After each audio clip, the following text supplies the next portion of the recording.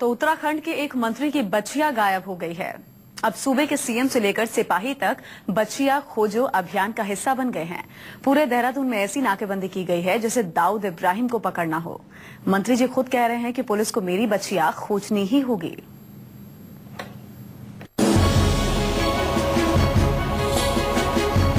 देहरादून शहर के चारों तरफ़ गजब की नाकाबंदी है इन दिनों। चप्पे पर पुलिस।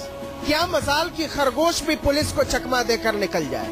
ऐसी चौकसी तो देखी ही नहीं कभी उत्तराखंड वालों।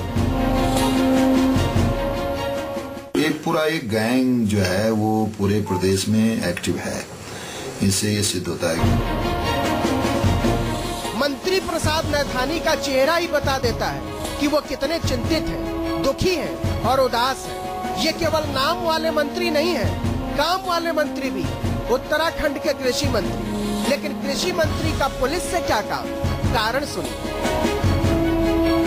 जो बछिया थी उसको पता नहीं कौन ले गया। तो उस आधार पर ये बहुत आ, बड़े मुझे लगता है कि ये पूरा गैंग जो है ये सक्रिय।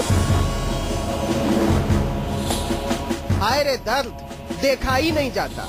नतीजा देहरादून की पूरी पुलिस गुंडों बवालियों और चक्कों का पीछा छोड़कर मंत्री जी की बछिया खोज रही। है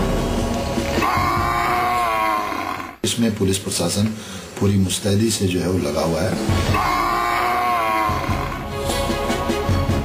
बताइए, कोई मज़ाक है? मंत्री की बछिया बछिया थोड़े ना होती है काम धेनु होती है। जब से उसने छान पगहा तोड़ा है, मंत्री जी का मन ही नहीं लग रहा, न काम में।